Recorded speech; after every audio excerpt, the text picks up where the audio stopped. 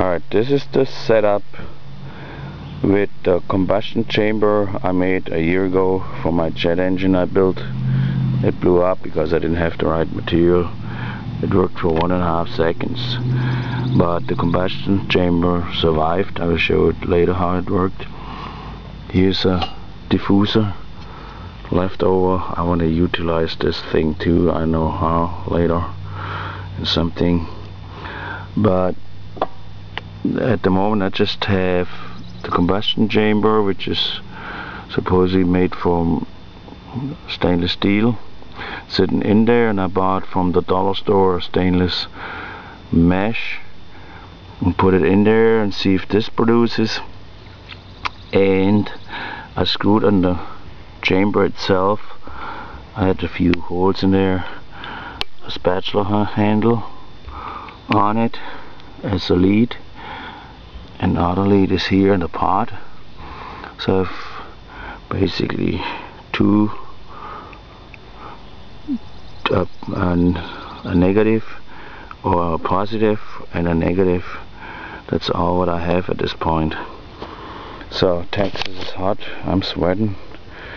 Uh, it's hooked up to my truck battery. The battery already broke down. I need to replace it.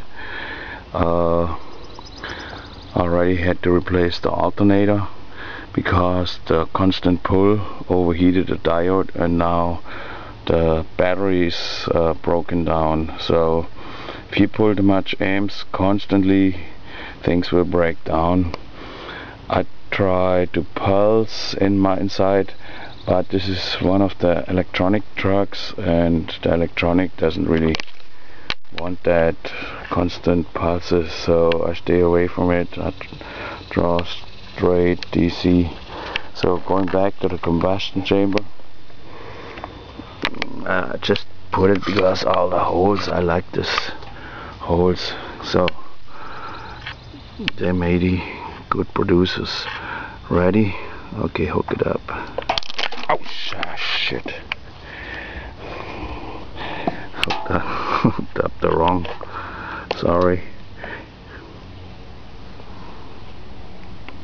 I don't see no production. Oh it's coming now. Oh wow it's nicely good production. Let me move that thing a little bit. Yes